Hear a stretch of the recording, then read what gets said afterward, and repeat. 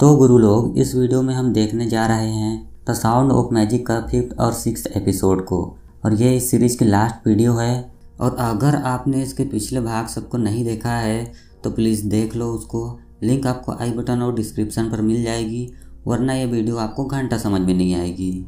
तो इंट्रो के साथ फिफ्थ एपिसोड का एक्सप्लेनेशन शुरू करते हैं।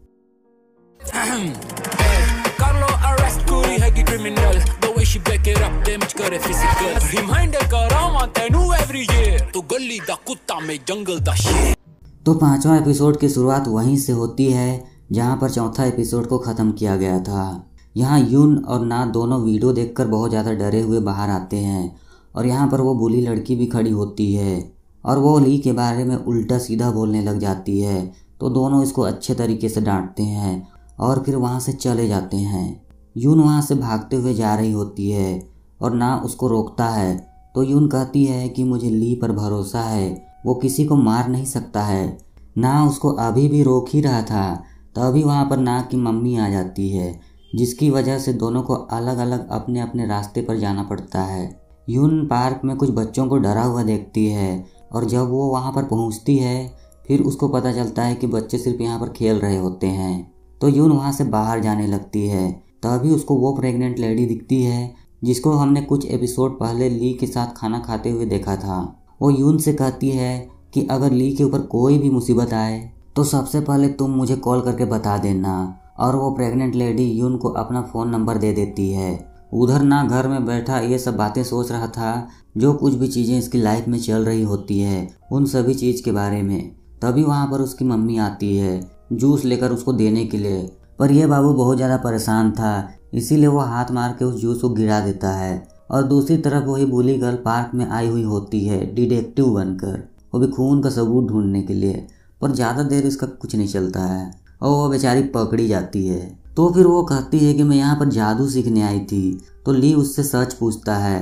तो ये लड़की उसको वीडियो दिखाते हुए कहती है कि तुम खूनी हो और मैं तुम्हें जेल भिजवा कर ही रहूँगी। तो वहाँ पर ली कहता है कि तुम यहाँ पर मत आया करो और तभी वो देखता है कि उसके कंधे पर एक कैमरा लगा हुआ है तो वो उसकी तरफ़ भाग कर जाता है, जिसकी वजह से उसके तोते का पिंजरा टकराकर नीचे गिर जाता है और उस तोते को चोट लग जाती है, जिसकी वजह से वो तोता चिल्लाने लग जाता है।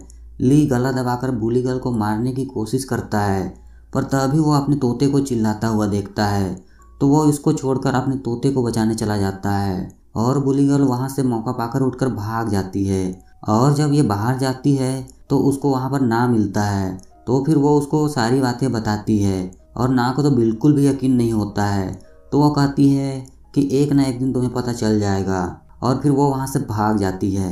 फिर अगले दिन स्कूल में टेस्ट के दौरान ना काफ़ी ज़्यादा परेशान होता है। इसीलिए वो टेस्ट को बीच में ही छोड़कर उठकर चला जाता है। वहीं टेस्ट के बाद यून उसके पास आती है और पूछती है कि क्या हो गया है तुम्हें। तो वो कहता है कि कुछ नहीं और वो उसको सारी बातें बताता है। जो कुछ भी रात को हुआ था और जो कुछ भी बुली गर्ल ने उसको बताया था। और फिर वो यून को ली से दूर रहने के लिए बोलती है, क्योंकि इसको ली पर बिल्कुल भी भरोसा नहीं रह गया है।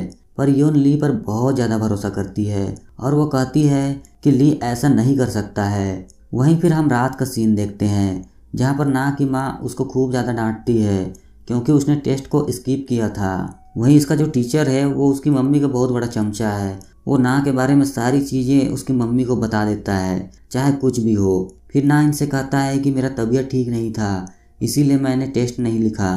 तभी उसके पिताजी वहाँ पर आते हैं और इन दोनों को ना के रूम से बहुत सारा मैजिक करने का सामान मिल जाता है। तो उसकी माँ इन सभी सामानों को बाहर फेंकने लग जाती है, पर ना इनको रोकता है। फिर दोनों मिलकर इसको खूब ज़्यादा धोते हैं और फिर इसका घर से अकेले बाहर जाने पर भी रोक लगा देते हैं। पर यह रात का फ़ायदा उठाकर वहाँ से भाग जाता है और भागकर सीधे पार्क में जाता है, पर उसको यहाँ पर कोई नहीं मिलता है। फिर इसका सर घूमने लगता है, जिसकी वजह से वो बेहोश हो जाता है। और फिर जब इसका आँख खुलता है तो यह बहुत साल आगे फ्यूचर में जा चुका होता है, जहाँ पर यह काफ़ी बड़ा बिजनेसमैन और एक अमीर आदमी बन गया था। और फिर से उसका दिमाग घूमता है, और फिर वो वहाँ से जंप लेकर सीधा एक खेत में पहुँच जाता है, जहाँ पर चारों तरफ़ सरसों की खेती है।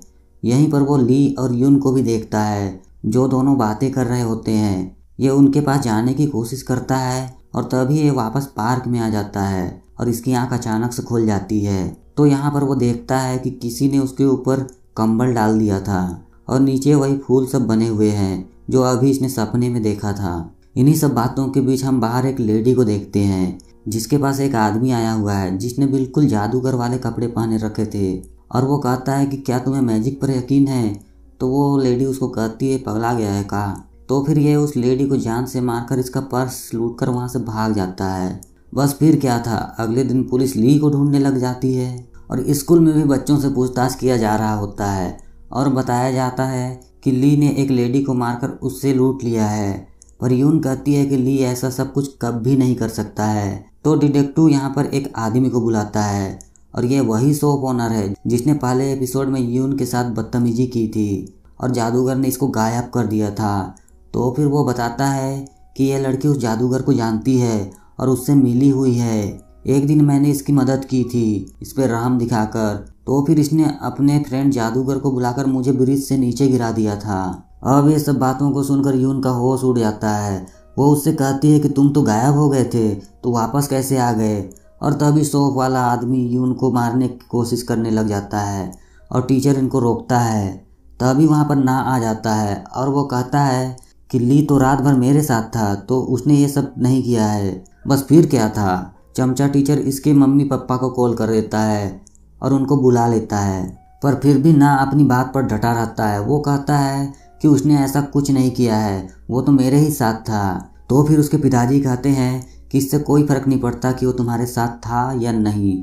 वो जादूगर दिखने में गंदा है और वो गैर कानूनी तरीके से उस पार्क में रहता है। तो फिर उसी ने ये सब किया होगा और इसके पिताजी जादूगर से इसको दूर रहने के लिए भी कहते हैं। और फिर जब ये वहाँ से बाहर निकल कर जाता है तो पूरा स्कूल के बच्चे इसको अजीब तरीके से देख रहे होते हैं, जैसा कि इसने कोई बहुत बड़ा क्राइम कर दिया है और इस पर उल्टे सीधे आरोप लगाए जाते हैं। तो फिर ये बहुत ज़्यादा इरिटेट हो जाता है और इसका दिमाग घूमता है और ये वहीं पर कुर्सियों को उठाकर इधर उधर फेंकने लग जाता है। और यहाँ पर वो अपने मन का बात बताता है और कहता है कि मुझे यहाँ से निकाल दो।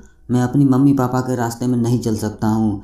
मुझे कुछ अलग करना है अपने ज़िंदगी में। और यहीं पर एपिसोड पाँच ख़त्म हो जाता है। तो अब छठवें एपिसोड पर आते हैं। तो एपिसोड सिक्स में हमें दिखाया जाता है कि उस लड़की की डेड बॉडी मिल गई है पुलिस को, जो कि पहले एपिसोड में गायब हो गई थी। और वहीं छानबीन के दौरान इस लड़की की आईडी की फ़ोटो और एक चाकू उसी पार्क के बाहर मिलता है। और यह खबर देखते ही देखते पूरे स्कूल में फैल जाता है। तो फिर यून जल्दी से ली के पास जाती है और उसको भागने को कहती है, क्योंकि पुलिस किसी भी वक्त आकर उसको पकड़ने ही वाली होती है। पर ली मना करता है, क्योंकि इसका तोता बीमार होता है और वो मरने ही वाला है। और वो ये भी कहता है कि मैंने तो कोई क्राइम नहीं किया है तो मैं भागूँगा भी नहीं। और तभी वहाँ पर पुलिस आ जाती है और ली को पकड़ लेती है। यून पुलिस को मना करने लगती है ये सब करने के लिए, पर इसका कोई फ़ायदा नहीं होता है। ये लोग उसको उठाकर ले जाते हैं। तभी डिटेक्टिव यून को कहता है कि इसका असली नाम ली यूल है और इसकी उम्र तीस साल है और इसे स्कूल से निकाल दिया गया था आज से दस साल पहले, क्योंकि यह मेंटल हॉस्पिटल में एडमिट था और इसका ट्रीटमेंट चल रहा था। अब यून इतनी सारी बातें ली के बारे में जानकर बहुत ज़्यादा दुखी होती है। और इसको झटका भी लगता है, और तभी वहाँ ना आ जाता है, और यून उसको भी सब कुछ बता देती है। फिर दोनों मिलकर उस प्रेग्नेंट लेडी से मिलने के लिए जाते हैं, जो ली के साथ खाना खाने आया करती थी। यून उसे सब कुछ बता देती है कि वो अरेस्ट हो गया है खून के मामले में। तभी ये लड़की उन्हें दस साल पहले की बात बताती है। तब हम देखते हैं एक सुंदर सा सीन यहाँ पर हमें पता चलता है कि यह लड़की और ली एक ही स्कूल में पढ़ा करते थे। यह लड़की ली को छुप छुप कर देखा करती थी, क्योंकि वो उसको बहुत ज़्यादा पसंद करती थी। वहीं ली का परिवार बहुत ज़्यादा अमीर था और इस वजह से ली पढ़ने में भी काफ़ी अच्छा था और हाई स्कूल के शुरुआत में वो बहुत अच्छे से पढ़ाई करता था और सबसे बातें करता था। और लास्ट ईयर आते आते वो बीमार रहने लग गया और बहुत ज़्यादा कमज़ोर हो गया था और वो ज़्यादा किसी से भी बात नहीं करता था और एक दिन ऐसे ही वो चक्कर खाकर गिर गया और हॉस्पिटल पहुँच गया। और जब ये उससे मिलने के लिए गई तो उसकी हालत बहुत ज़्यादा ख़राब थी। पर फिर भी हॉस्पिटल में बीमार हालत में भी वो पढ़ाई ही कर रहा था, क्योंकि उसको अच्छा नंबर लाना था उसकी फैमिली को इम्प्रेस करने के लिए। सीधा बात बताऊँ तो इसका परिवार का इसके ऊपर बहुत ज़्यादा प्रेशर था कि वो इतने बीमार हालत में भी पढ़ाई कर रहा था। और उसकी जो भी हालत हुई है, वो सब के जिम्मेदार इसकी फैमिली ही है। और उसके बाद वो मेंटल हॉस्पिटल पहुँच जाता है। इसके बाद काफ़ी दिनों तक इसका ट्रीटमेंट चलता है और उसके बाद उसको किसी ने नहीं देखा। और कुछ दिन पहले ही वो लड़की उससे मिली थी और मिलकर काफ़ी ज़्यादा खुश हुई थी। दूसरी तरफ़ हम ली को देखते हैं, जो कि पुलिस स्टेशन से भाग चुका है। पुलिस यून को कॉल करके जल्दी से बता देती है। तो यून और ना उसको ढूँढने के लिए जाते हैं। वहीं ना स्कूल में बैग लेने के लिए चला जाता है। इधर ली पुलिस वालों को जादू दिखा रहा होता है। पुलिस इसको गन पॉइंट करके अपने साथ चलने के लिए कहते हैं। तभी वहाँ पर यून आती है और वहाँ पर हम काफ़ी देर तक इनका डांस देखते हैं। यून बहुत ज़्यादा खुश होती है। वो कहती है कि, तुमने मेरी पूरी ज़िंदगी बदल दी। तुम मेरे साथ आए तो मैंने इतनी सारी चीज़ें सीखी और मैं काफ़ी ज़्यादा दुखी रहा करती थी। और अब मैं बहुत ज़्यादा खुश हूँ तुम्हारी वजह से। और फिर वो उसके ऊपर कपड़ा डालती है और वो वहाँ से गायब हो जाता है। वहीं दूसरी तरफ़ स्कूल में दो स्टूडेंट यून और ली के बारे में बहुत गंदी गंदी बातें कर रहे होते हैं और ना उनकी बातें सुन लेता है, फिर उससे रहा नहीं जाता है और वो जाकर उनसे भिड़ जाता है और इन दोनों की खूब ज़्यादा मारपीट होती है और आखिर में वो लड़के वहाँ से भाग जाते हैं। इसके बाद हमें कुछ दिन बाद का सीन दिखाया जाता है, जहाँ पर हम देखते हैं यून को, जो कि ली की तोते को दफना रही थी वहीं पार्क में, क्योंकि उसका तोता अब मर चुका है, वो बूढ़ा हो चुका था। पर पुलिस अभी भी छानबीन कर रही है। तभी इनको सीसीटीवी में एक वीडियो मिलता है, और ये सीसीटीवी पार्क में लगा था। इस सीसीटीवी में हमें दिखाया जाता है एक आदमी को, उस मरी हुई लड़की की फ़ोटो को, और उस चाकू को वहाँ पर फेंक कर जा रहा है। और ये आदमी कोई और नहीं, बल्कि वही शॉप ओनर है, और फिर इस शॉप ओनर को उठा लिया जाता है। थोड़ी देर उसको डराने धमकाने के बाद वो सब कुछ सच सच बताता है। फिर हम देखते हैं कुछ महीने पहले का सीन।